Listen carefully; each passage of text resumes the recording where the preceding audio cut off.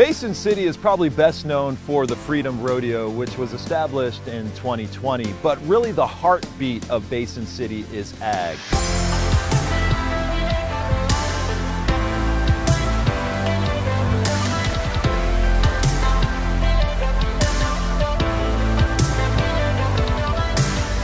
This town was established in the 1950s in large part because of the Columbia Basin Project.